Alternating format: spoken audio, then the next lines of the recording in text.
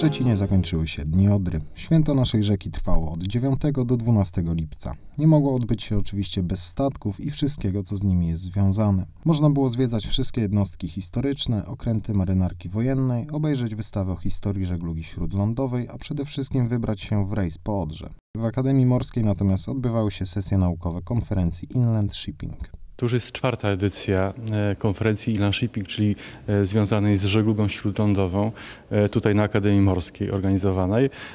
Tak jak zaznaczyłem na początku, po raz pierwszy udało nam się poza Akademią Morską również zaangażować w organizację tej konferencji Urząd Marszałkowski oraz Urząd Miejski w Szczecinie. Ta konferencja odbywa się dlatego, że Akademia Morska jako jedyna uczelnia w Polsce kształci w tej chwili specjalistów w zakresie żeglugi śródlądowej. Sobotnie popołudnie obserwowaliśmy w wpłynięcie flotyli Flisu Odrzańskiego na Wały Chrobrego. Odbył się również kajakowy rajd na orientację. Wieczorem na Odrze pojawiły się jednostki portowe i zaprezentowały się nam w całej okazałości, biorąc udział w paradzie. A dzień zakończył pokaz sztucznych ogni.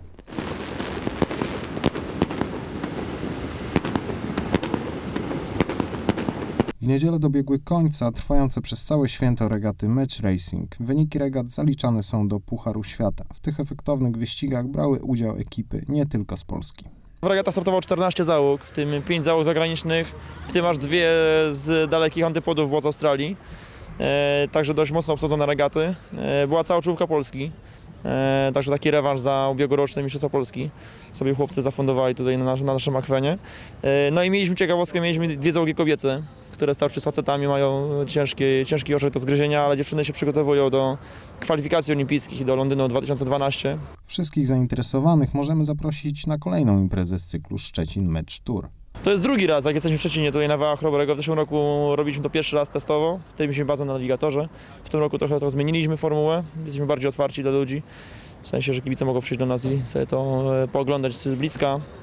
E, na pewno chcemy powtórzyć tę imprezę w przyszłym roku. E, znowu dwa weekendy z rzędu. Na pewno pierw będziemy robić eliminację na Jeziorze Dom, Domskim, tutaj dla, dla lokalnych zawodników Polaków, no i później finał tutaj właśnie też w międzynarodowej obsadzie. Kolejne atrakcje z okazji Dni Odry czekają nas już za rok.